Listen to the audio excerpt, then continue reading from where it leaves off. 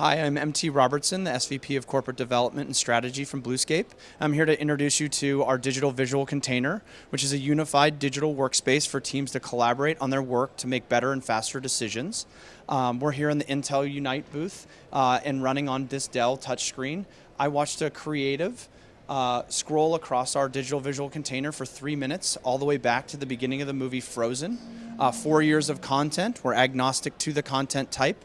The way you navigate in our digital visual container is through what we call canvases. And if you want to go to a specific area of the DVC, you simply click on it, and now I'm into this uh, specific canvas. Uh, you can do things uh, on the in the DVC, like play videos, and I can really quickly take snapshots of a video as it's playing in real time and collaborate with my colleagues around the world on any device laptop, mobile, uh, or large format display.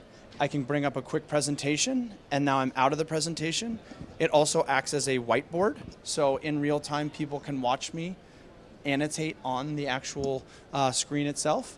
And uh, the amazing thing about Bluescape is it's it's agnostic to the application. So I, any SaaS application can be running in this, and I can quickly bring up a browser and just show you that we can access Google Maps as an example of a SaaS application. Uh, Bluescape is the new way of, of collaborating and meeting with uh, your colleagues from around the world. Thank you very much, and enjoy the show. Uh, our website is bluescape.com.